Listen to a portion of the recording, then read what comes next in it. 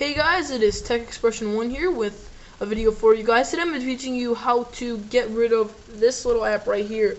Not get rid of it, but put it into a folder, just like how I have folders right here. And um, it's very simple. You do not need a jailbreak, as I'm going to repeat again and again in this video. Again, you do not need a jailbreak for this. This supports um, every single device that supports iOS 5 and above.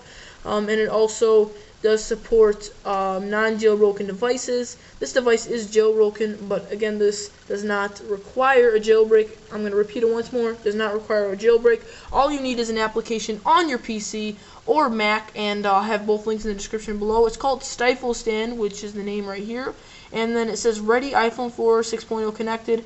I don't know if you guys can see that, but I'm going to hit Hide Newsstand, and it'll hide and it'll put it into a folder. Now I'm going to go ahead and go over the flaws after I hit hide newsstand. There we go. It is hid and it says magic. That's the folder now. The first flaw is that the icon won't appear. You won't see it until you open it up and the icon will be there. Second flaw is you can't click on it. Once you do click on it, you will respring and I've heard this with some other jailbreak users, but not with me. Um, if you're jailbroken, you'll go into um, uh, safe mode, which I have not had that problem once. As you can see, I'm not on safe mode. It would say safe mode on the top. So I'm not on safe mode, um, but it'll still be there until you hold it down and remove it. Uh, you can also rename the folder, and you can put other stuff in the folder. Now, if you do put other stuff in the folder, it will show up. The only app that doesn't show up is Newsstand itself.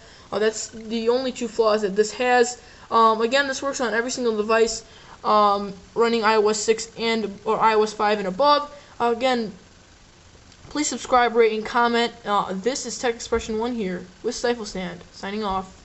Peace.